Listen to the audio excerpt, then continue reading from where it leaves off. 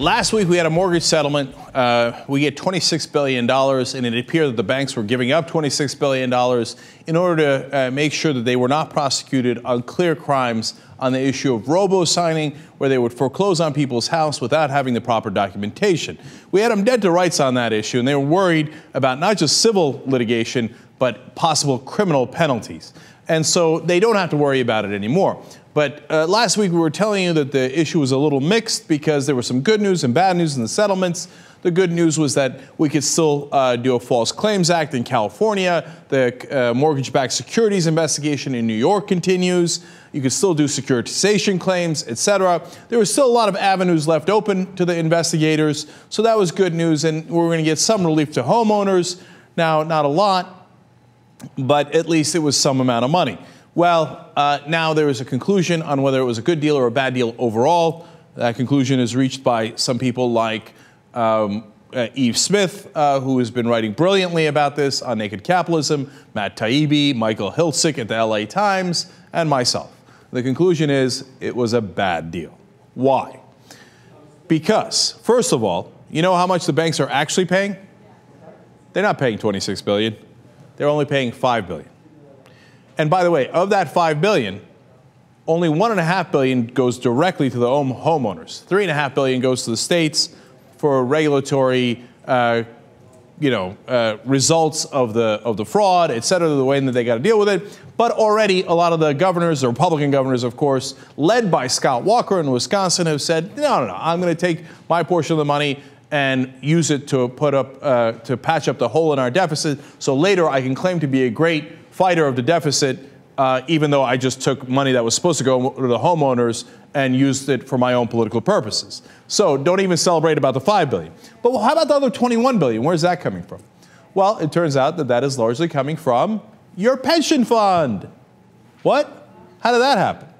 Well, because the great uh, three card Monte trick here is that the banks don't even hold the mortgages anymore. The banks are the ones that service the mortgages, meaning they're the ones that do the foreclosing, but they're really representing the investors that they already sold the mortgages off to. Who are those investors? Well, they're 401ks, they're pension funds, and others, right?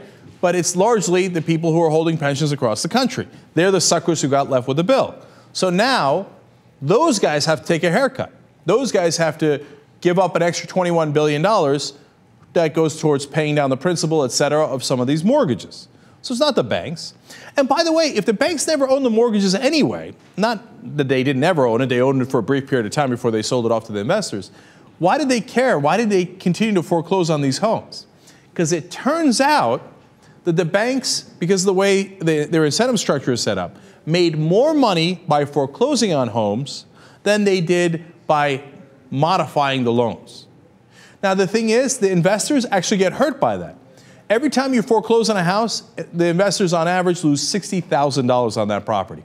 It's a terrible deal for the investors. But the banks kept doing it anyway. They're like, haha, you made a mistake of trusting us to service your mortgages, and we get paid more to foreclose. So, sad day for you, the guy in the house, sad day for the investor, I'm gonna foreclose. Now, okay, finally we got them to stop doing that, but again, the guys who are gonna pay the bill are the guys holding all those uh, mortgage-backed securities in your pension fund. Okay, so when you look at it that way, the banks didn't pay that much at all. And in fact, we were, you know, one of the questions was why is it applied to so little homes? Because right now there are 11 million homes underwater, and this applies to about a million of them, at most two million. Why is that? Because most of the homes have mortgages backed by Fannie Mae and Freddie Mac, and they are not part of this deal. So you know who, uh, by the way, has to pay the bill for Fannie Mae and Freddie Mac? You guessed it, the US taxpayer, because we had to take them over because of their gross incompetence. So in the end, Fannie Mac and Freddie Mae, uh, will not renew uh, your loans. They will not refinance them. They will not reduce principal. So those homes, the great majority of them, don't get any benefit. The ones that do get the benefit, it comes from the pensions, not from the banks. And what do the banks get in return? They get to skate on the most obvious criminal violations in this robo signing deal, in the whole mortgage deal. Now, look, the fraud that happened regarding the mortgage backed securities is actually much larger than the fraud in the robo signing, okay? After they did the giant fraud that sank the economy, they just wanted to hurry up and foreclose on the houses. That's when they did the robo signing mess. But the robo signing was easier to prove until we just gave it away. And now we can't prosecute them on that. And a great point made by Yves Smith was well, normally what prosecutors do is they take the easiest thing to prove and they use it as leverage to get the banks or whoever they're going after to agree to other charges. Well, now they've lost that leverage, so it's going to be even harder to prosecute. And a lot of the statute of limitations on these fraud is already running out. So the worst fraud that happened with mortgage-backed securities in 06, 07, it's already too late. We can only start looking at mortgages that happened in 2008 after the scandal started to wind down.